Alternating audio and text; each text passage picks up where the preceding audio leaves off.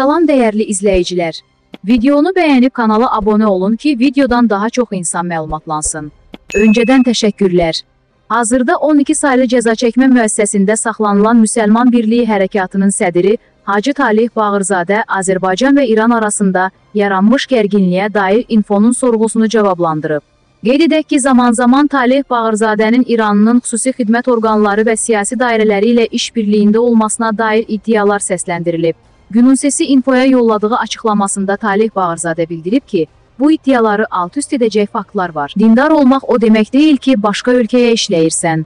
Müsəlman Birliyi Hərəkatı olaraq hər zaman Azərbaycanın müstəqilliyinin və dövlətinin yanında olduğumuzu ortaya qoymuşuq.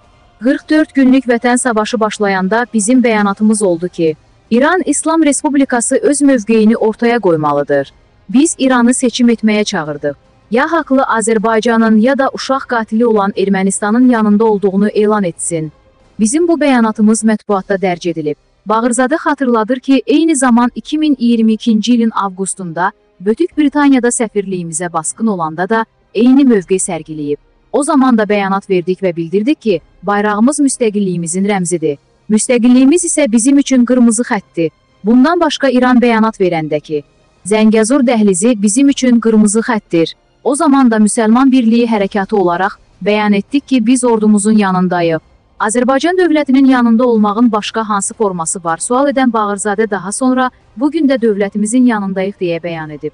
Azərbaycanda və dünyada baş verənlərdən xəbərdar olmaq istəyirsinizsə kanalımıza abunə olub videonu bəyənməyi unutmayın.